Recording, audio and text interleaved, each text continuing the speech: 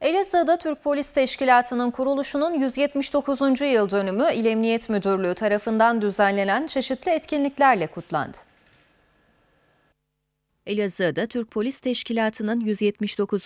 kuruluş yıl dönümü İl Emniyet Müdürlüğü tarafından düzenlenen çeşitli programlarla kutlandı. İlk olarak İl Emniyet Müdürü Adnan Karayel, yardımcıları ve personelin katılımıyla Atatürk anıtına çelenk sunma töreni gerçekleştirildi. Ardından Karayel ve beraberindekiler şehitliklerle Vali Doçent Doktor Ömer Toraman'ı ziyaret etti. Daha sonra Arif Nihat Asya Ortaokulu'nda Türk Polis Teşkilatı'nın 179. yılı anısına kütüphane tefrişatı yapılarak İl Emniyet Müdürü Adnan Karayel tarafından açılışı yapıldı. Son olarak İl Emniyet Müdürlüğü tarafından iftar programı düzenlendi. Programa İçişleri Bakan Yardımcısı Mehmet Aktaş, Vali Ömer Toraman, İl Emniyet Müdürü Adnan Karayel, protokol üyeleri, şehit yakınları ve gaziler katıldı.